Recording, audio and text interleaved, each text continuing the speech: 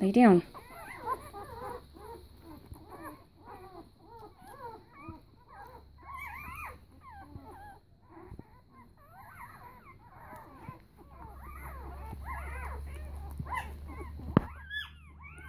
I know, you hear your little girls. It's okay.